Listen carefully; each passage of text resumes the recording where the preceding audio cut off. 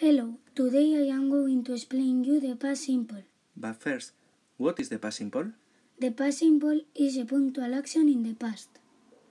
Let's see the affirmative. What is the order? First, we write the subject, then the verb in second column or ed, and finally the rest. Can you give me some examples? Yes, of course. Here are three examples. I played football with ed, I studied science with ed2, and I went home, the, the second column of go. Now, let's see the negative. Can you explain me the order? Yes. First, we write the subject, then didn't. After didn't, the verb infinitive because didn't is the past. And finally, we write the rest. Can you give me some examples, please? Yes, of course. First, we have you didn't pass the exam. The p- pass is in the infinitive, and didn't is the past. They didn't spend the time working. And finally, he didn't study for the review. Thank you. You're welcome. Now it's the turn for the WH questions. What is the order? First, we write the WH word. Then we write this. After this, the subject. And uh, then the verb in infinitive, because the past is in this. And finally, the rest. Can you give me examples? Yes, here are three examples. What did you do this yesterday? When did you play football? And when did you revise English? And to finish with the theory, we have the yes no questions. Can you explain me the order?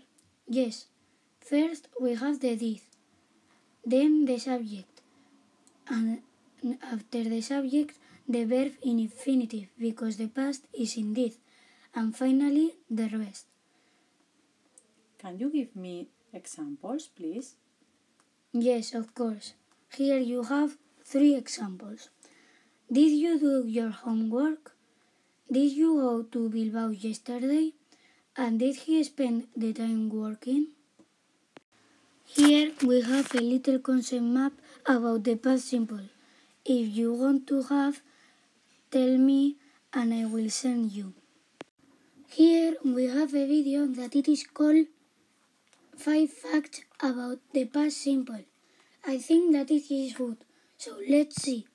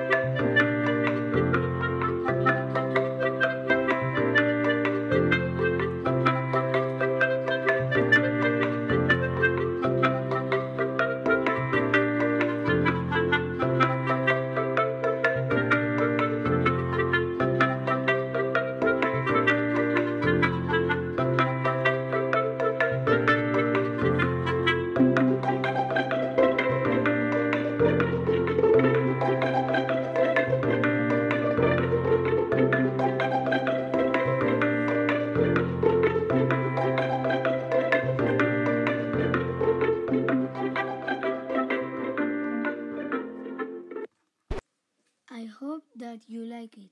So goodbye.